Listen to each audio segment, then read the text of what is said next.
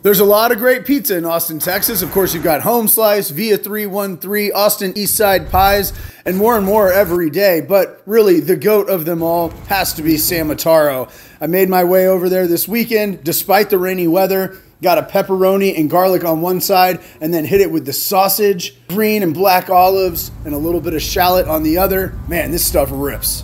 If you think a little rain was going to stop me from getting to Sammataro today, you're wrong. My boy Isaac Flores is the owner of Sammataro. He brought this down about three years ago uh, from Brooklyn, New York. He's a native Texan, uh, but he lived in New York for like seven years, had a couple of bars.